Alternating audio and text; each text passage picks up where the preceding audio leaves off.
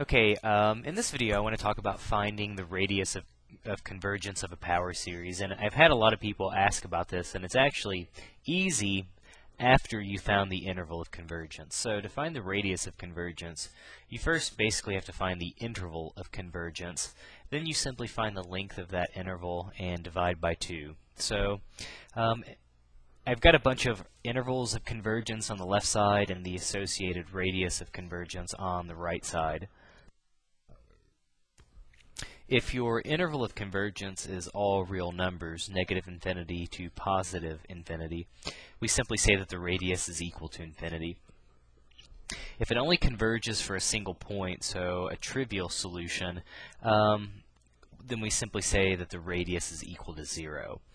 Um, now, uh, it doesn't matter whether, if you have um, an interval, say like in this example, negative 1 to 7, it doesn't matter whether the endpoints of the interval produce a convergent series or not. Um, in all of these cases, um, kind of all four possible cases of the endpoints either converging or not converging, again, all you do is find the length of the interval, take the right endpoint minus the left endpoint, and divide by 2. So if we go from negative 1 to 7, hey, that has a length of 8 divided by 2, and we would simply say the radius of convergence is 4. So um, very easy to do, um, but obviously, again, you have to know the interval of convergence, and that's the hard part. So, all right, um, uh, kind of short and sweet. I hope it makes sense. If you have questions, let me know.